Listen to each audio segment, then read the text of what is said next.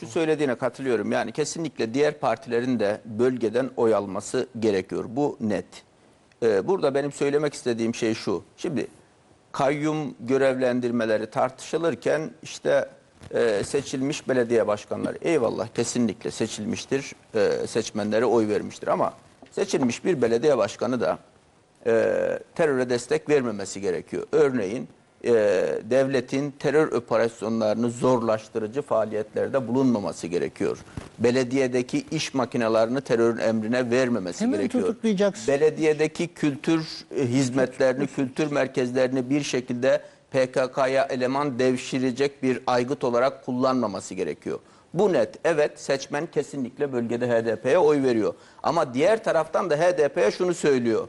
Sen terörle arana mesafe koy diyen önemli bir Kürt Bunu seçmeni var. ister? Bunu nereden anlıyoruz? Bunu şuradan anlıyoruz. Örneğin ilk dönemde kayyumlar atandığında HDP'liler e, çağrılar yaptılar.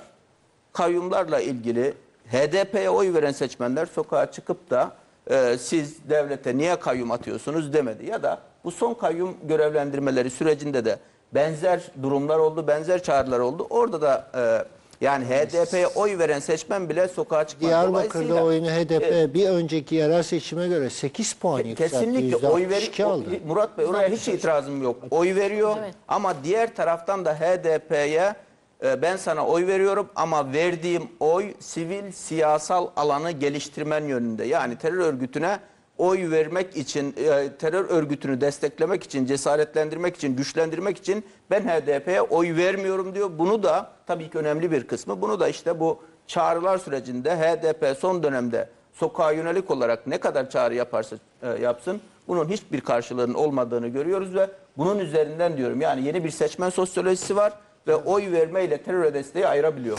Peki Nebi Bey annelerin eylemine geçmek